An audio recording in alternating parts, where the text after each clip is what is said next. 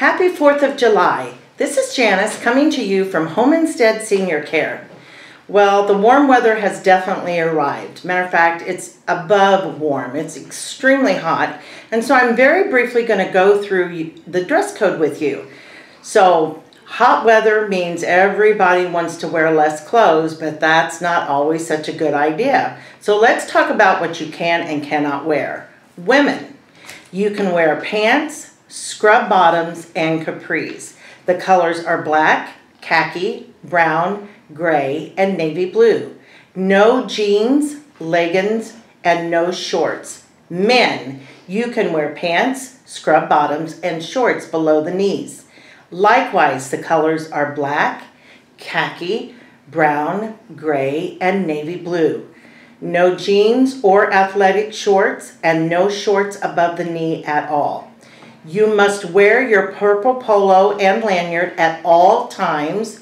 Shoes must have toes, no flip-flops or sandals. And I can't believe I'm going to say this, but please be mindful of your personal hygiene. During the hot summer months filled with sweat and more sweat, it can be very awkward when you are with your client. So let's all be very mindful about our appearance during these hot summer months.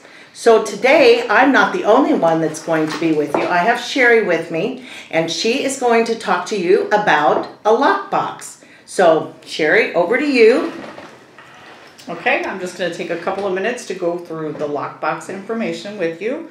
For those of you who haven't used a lockbox before, we have those at clients' homes where they have difficulty maybe getting to the door to let you in. If you have not used one, you'll see in the assessment information, it talks about the shackle.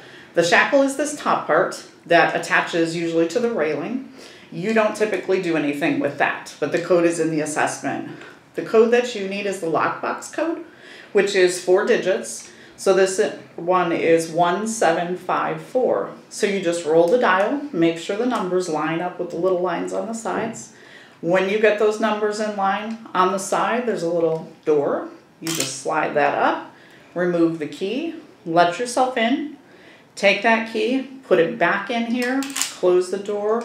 And this is really important. Make sure that you jumble up those numbers so that your client is left safe and secure and no one can access the house.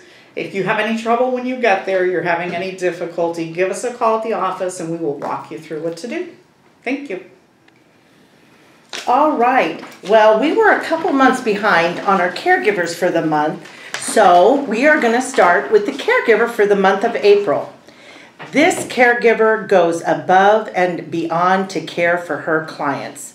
She has a wonderful task about being an advocate for her clients and maintaining professional relationships with faculty staff. She is willing to answer the call and meet the needs of her clients.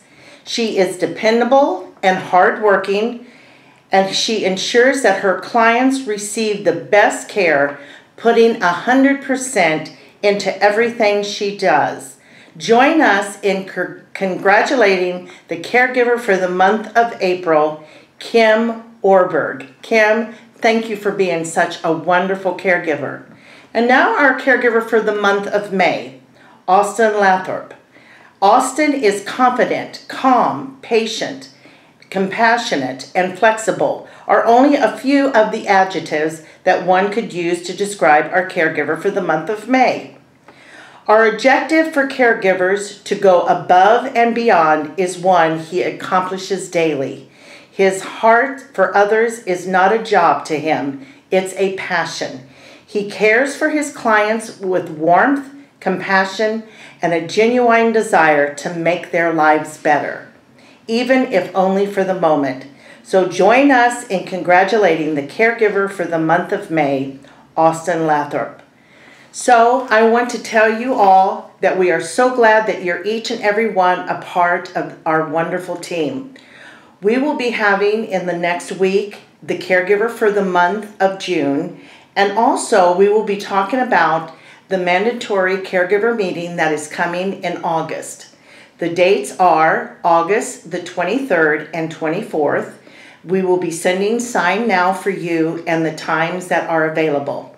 So once again, From Home Instead Senior Care, I wish you all a very happy 4th of July.